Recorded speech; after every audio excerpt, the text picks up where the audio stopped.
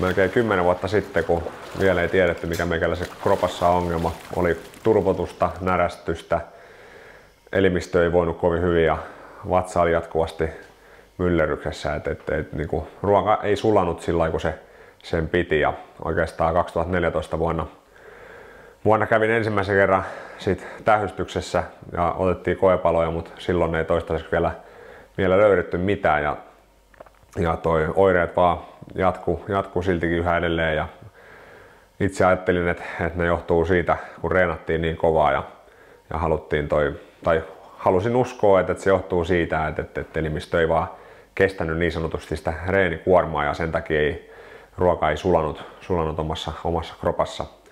Kunnes sitten vaimo pakotti uudelleen, uudelleen tutkimuksia 2019 ja toi, siinä sitten koepaloista selvisi, että, että keliakia, keliakia siellä, siellä oli, vaikka ei siinä itse tähystyksessä ei, niin kuin, ei sitä löydetty. Ja toi, siitä lähtien on sitten lähdetty noudattamaan gluteenitonta ruokavalioa ja, ja sen jälkeen on kyllä homma lähtenyt paremmin kuin rokkaamaan. Mulla iski myös tämä autoimmuunisairaus toinenkin, eli alopesia. Eli olen, olen täysin, täysin karvaton ja, ja toi, ne ilmeisesti jossakin määrin kulkee käsi kädessä.